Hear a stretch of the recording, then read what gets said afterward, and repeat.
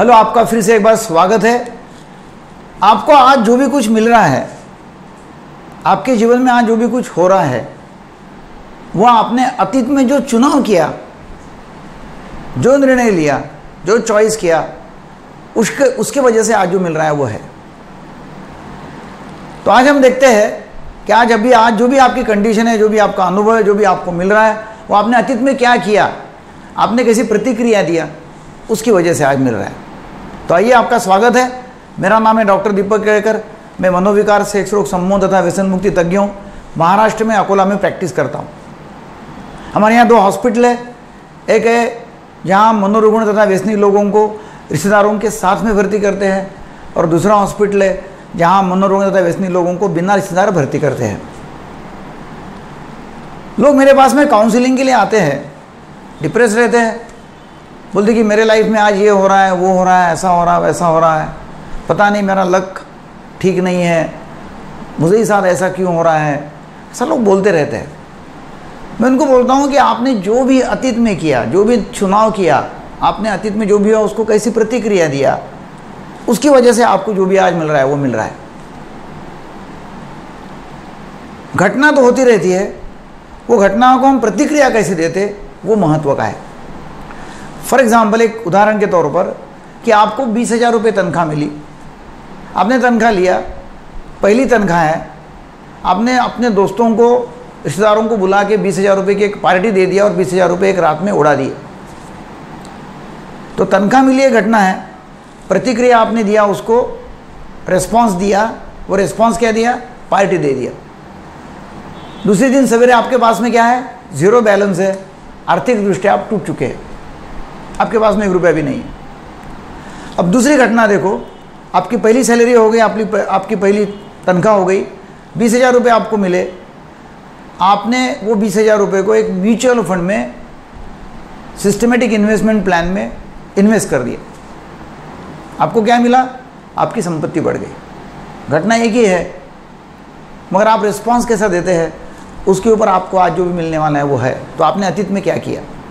तीन चीज़ें हैं। कि आप कौन सी कल्पना करते हैं? आपकी सोच क्या है? नंबर एक, आपकी कल्पना कौन सी है? आप क्या कल्पना करते हो? विजुअलाइज क्या करते हो आपके लाइफ में? नंबर दो, आपकी सोच क्या है? मतलब आपके विचार कैसे हैं? और नंबर तीन, आप कृति कौन सी करते रहते हैं? आप कौन सी एक्शंस लेते हैं? आपके बिहेवियर कैसे है? आपका बर्ताव कैसे है? उसके ऊपर है। तो आपको आज जो भी आपके लाइफ में मिल रहा है, जो भी आपके लाइफ में आप उत्पादन कर रहे हो प्रोड्यूस कर रहे हो, जो भी आपके लाइफ में आपको अनुभव आ रहा है एक्सपीरियंस कर रहे हो आपको जो भी आज मिल रहा है, आपको जो भी आप अनुभव आ रहा है, वो आपने अतीत में क्या चुनाव किया है, उसके वजह से आज जो मिल रहा है। तो फिर आपको क्या करने करना पड़ेगा कि आपको भविष्य में कुछ आपको चाहिए, जो भी कुछ चाहिए भविष्य में, उसके लिए आज आपको निर्णय लेना पड़ेगा। तो आज आप जो भी करोगे, उससे आपका भविष्य क्रिएट हो जाएगा। जो भी एक्शंस आप लोगे, जो भी बर्ताव आप करोगे, जो भी बिहेवियर आपका आज होगा, जो भी विचार आप आज करोगे जो भी रेस्पॉन्स आप देंगे, प्रतिक्रिया देंगे रिएक्शंस देंगे, आपके विचार जो होंगे, आपका विजुअलाइजेशन जो होगा, उसकी वजह से आपको जो भी मिलना है फ्यूचर में वो मिलेगा। तो आपकी सोच बदलो मतलब आपके विचार बदलो निगेटिव टू पॉजिटिव सोचते जाओ। आपकी कल्पना जो है विजुअलाइजेशन जो है ड्रीमिंग जो है, सपने जो है, वो बदलो। आपकी आदतें बदलो।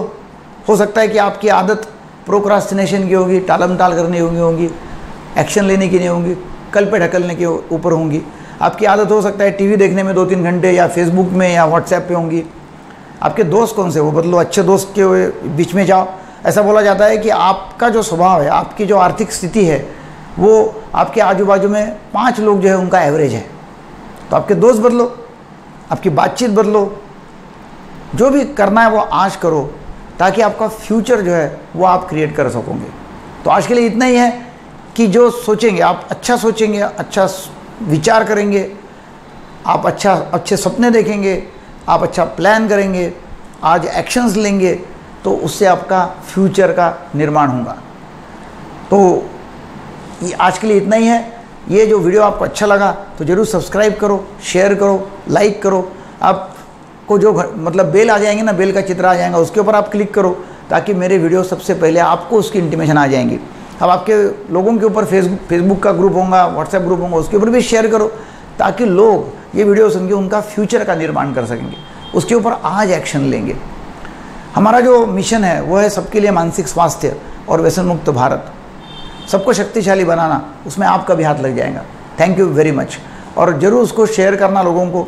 ताकि ज़्यादा से ज़्यादा लोगों तक हम फैला सके। वीडियो देखने के लिए बहुत बहुत धन्यवाद। Thank you